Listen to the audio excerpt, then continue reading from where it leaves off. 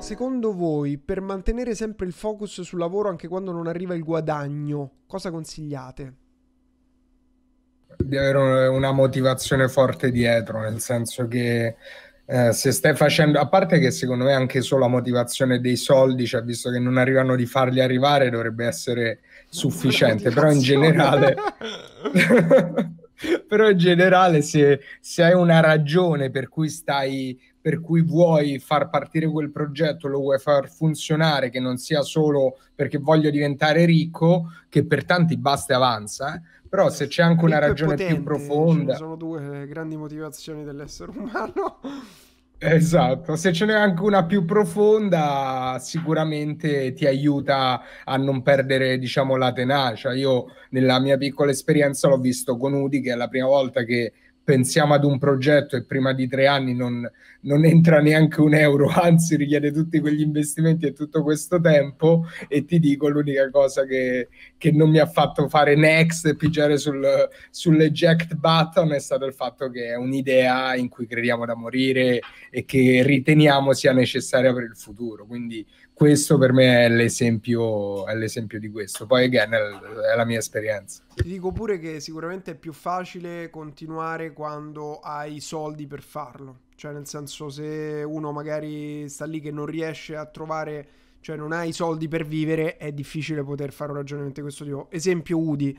Cioè, ora abbiamo 10 programmatori che programmano il reparto marketing di hot lead eh, al servizio e noi che possiamo stare sul pezzo quando serve eh, perché, perché c'è, cioè, ci stanno i soldi dietro nostri che stanno finanziando. Chiaramente se uno non ce l'ha eh, e io capisco molto perché anch'io la mia prima la mia prima, cioè le mie prime aziende erano voglio fare i soldi e le, e le, prime mie, molto onestamente ve lo dico ragazzi, cioè non volevo salvare il mondo all'inizio, all'inizio volevo riuscire a essere libero, a essere indipendente, a non fare la vita che gli altri si aspettavano che avrei dovuto fare, poter seguire una mia strada.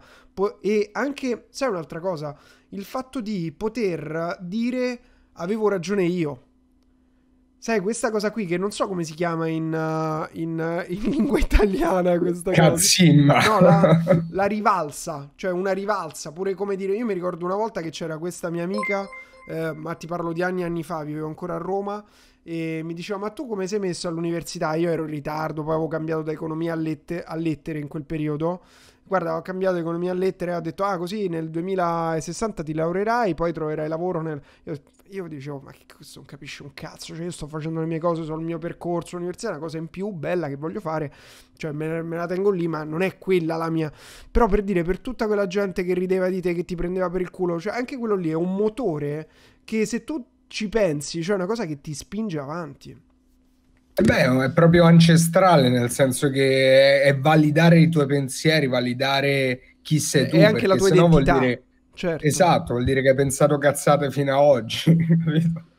Quindi sì, e poi un altro co- un'altra cosa che mi è servita è vivermela sempre come un viaggio, come un'esperienza. Quindi anche tutte le volte che ho buttato soldi e ne ho buttati tanti investimenti sbagliati, persone sbagliate di cui mi sono fidato. Uh, cioè è sempre un, cioè un'esperienza, tanto nessuno sa un cazzo in questo mondo, quindi non è che cioè, se non rischi non ottieni. L'unico modo che abbiamo per ottenere qualcosa è immergerci nel mondo delle possibilità, che vuol dire nel mondo del rischio, è fare cose che altri non fanno, è, ris- è rischiare.